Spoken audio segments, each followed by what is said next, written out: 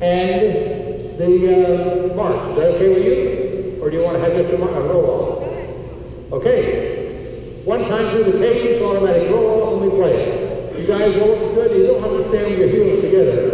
Stand there comfortable, because you'll be standing for a little bit. As long as you're fairly together. Everybody moves to the center so there isn't any space between the guy where you are and the guy on the inside.